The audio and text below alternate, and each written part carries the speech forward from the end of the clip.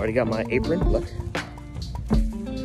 Heading over, I think they're they're doing a side degree there that we do here in the island. I just had a, a brief conversation with the Simonetta father and son uh, group. They're gonna be the, the two brothers that are gonna be raised to the sublime degree of Master Mason. They're super excited. They look a little nervous, but you'll see in, a, in an episode of The Winding Stairs, you're gonna see a little bit more about their experience.